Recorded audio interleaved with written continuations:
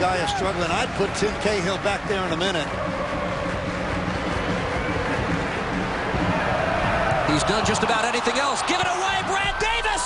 And we are level. And just like that, the Dynamo tie the game. And it came from Sekagya, and that's why I don't understand a player. If you're hurt, go down, get treatment, assess the injury. He tried to fight his way through it, and he's cost the team a goal. You like the courage, but in terms of soccer smart, hey, if you're hurt, go down. Settle the game, get on the ground, let the trainers come out.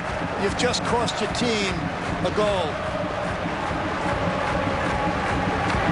That is the man that you don't want to give the ball to at the penalty spot. All alone against Luis Robles.